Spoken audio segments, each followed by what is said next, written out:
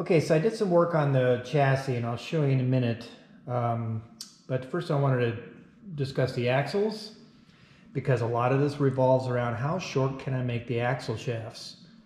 The first thing I did was start with a mid 90s Cadillac DeVille half shafts. These were rebuilt models because I had to start with something. And uh, they're 33 spline going into the transmission, which is female, and 33 spline outer, which is all fine. That's one ton stuff. And I was hoping I could just replace the, uh, the axle shaft itself with a shorter axle shaft. But when I took it apart, I found out that the axle shaft is only an inch in diameter. And it's 35 spline. And honestly, I don't trust, I know some people get away with it, but I don't trust 700 and something horsepower on one inch axles. So then I thought maybe I could bore this, this is the tripod bearing that sits inside here for this kind of CV joint. I could respline that and big, make it bigger, but there's just not enough material.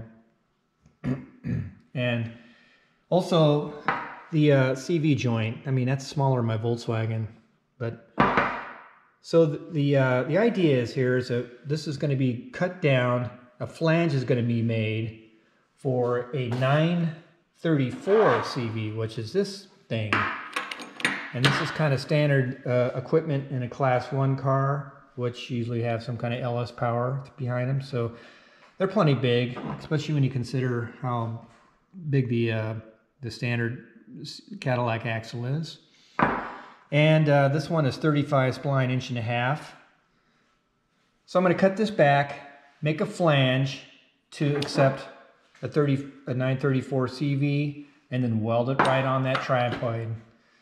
Uh, and then from there, I can just go inch and a half, 35 spline to another one of these CVs on this side that goes to a flange. This is a 934 flange.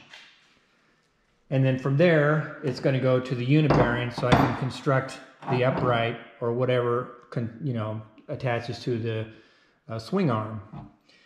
I was hoping to use, with the kit, comes these the stock Cadillac unit bearings. But the problem with them are, is that um, the bolt circle is, is a weird metric bolt circle and there's just not a lot of rim selection. Plus, they're kind of weeny as, as far as the studs, how big they are. So I got uh, an aftermarket 934 unit bearing, which is quite a bit beefier in all regards. It has a standard five on five, four and three quarter bolt circle with much beefier studs. So it's it's uh, that's how that's all going to work.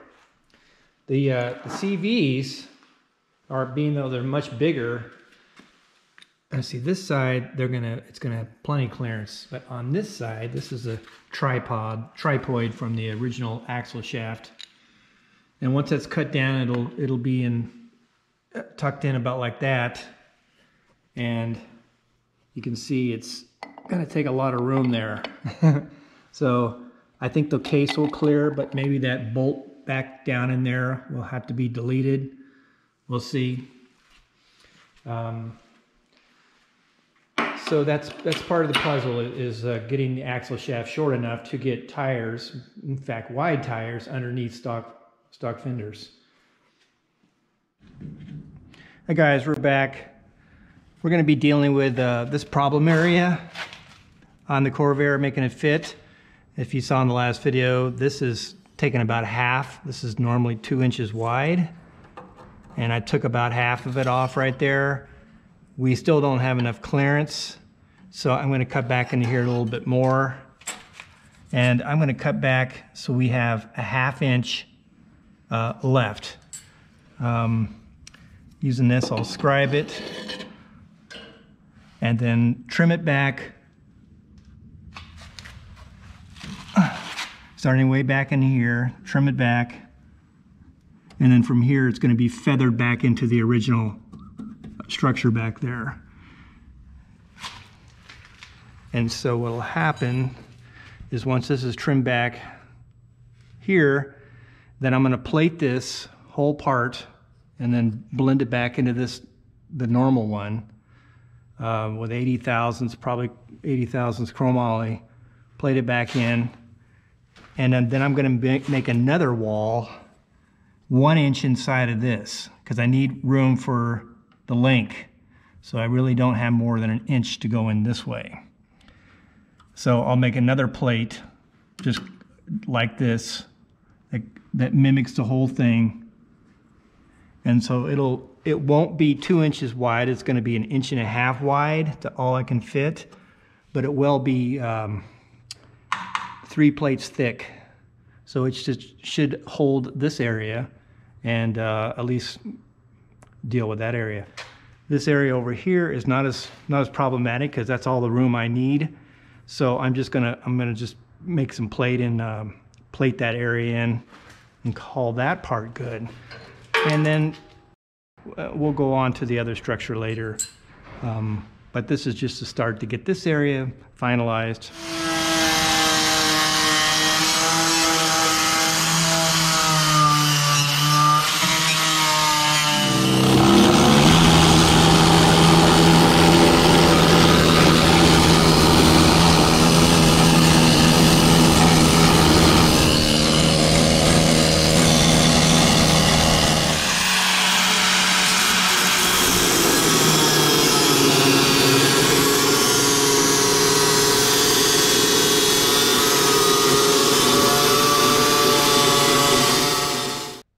So after we trim back the channel to the right thickness, is about a half inch thick, we're going to plate this part starting from here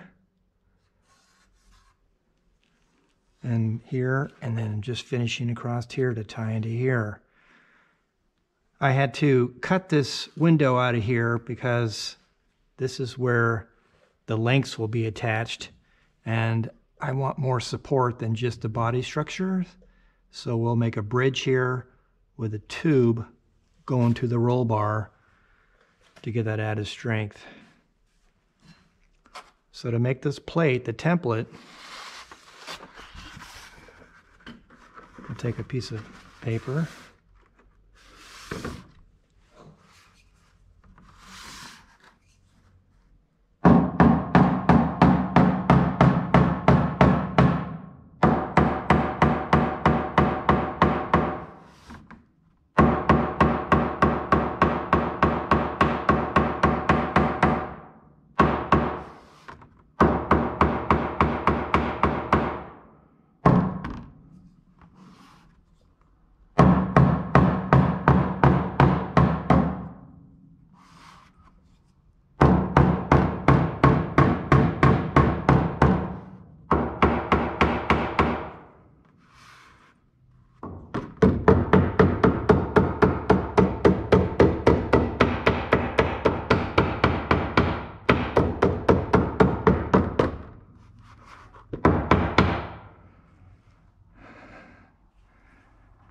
then cross your fingers. So we'll cut that out, we'll put it in here and then we'll add the other piece.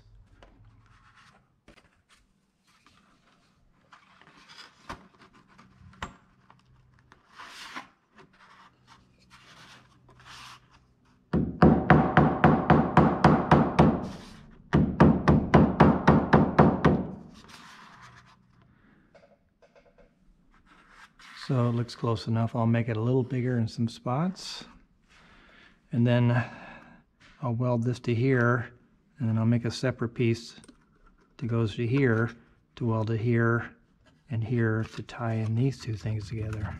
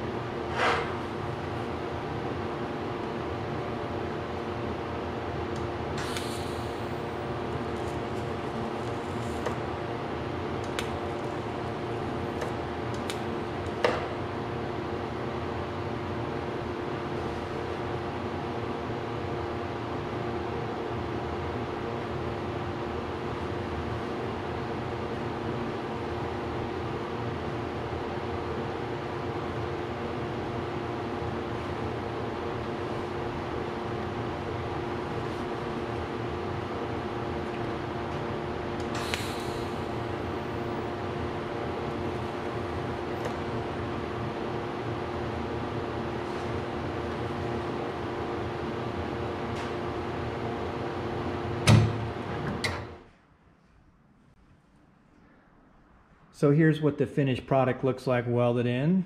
Um, like I said, it's 80 chrome chromoly sheet and uh, was welded here and here on both sides. And then this plate was added to tie into this part.